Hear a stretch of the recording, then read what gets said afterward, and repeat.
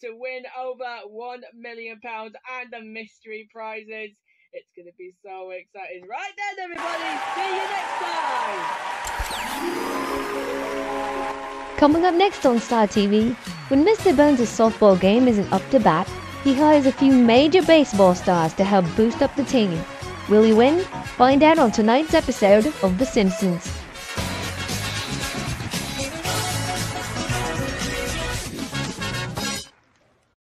Little pigs, little pigs, let me come in. Not by the house and our chinny chin chins. Then I'll huff and I'll puff and I'll blow your house in.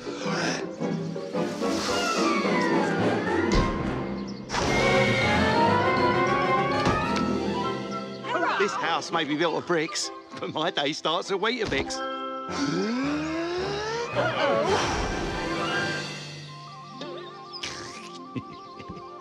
Have you had your Weetabix?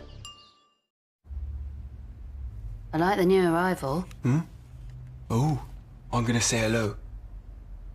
Yeah, say hello. All right, I'm Trevor. Connie? Maybe it's more of a hugger. Oh. I'll leave you two to it. From toys to tech to homeware. Beautiful. There's more to Argos.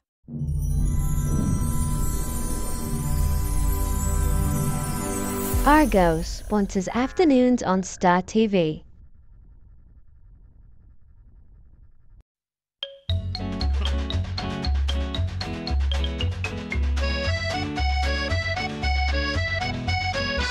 Some Crusha, a little Crusha.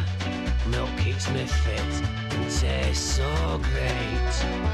A glass of Crusha. It's tough enough to make milk shake. Add milk, or we'll Crusha. In 30 minutes, Star TV will celebrate Stampy's 11 years in his lovely world with a Stampy Long Head Marathon. Over on Star TV Kids, you can get wild and wacky in the wacky world of Tech Saver. Also in 30 minutes. And now, here's The Simpsons.